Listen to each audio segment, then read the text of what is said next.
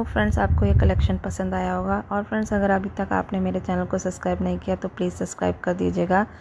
Okay friends, फिर मिलती हूँ आपसे एक और नई वीडियो के साथ। तब तक के लिए okay, bye and take care.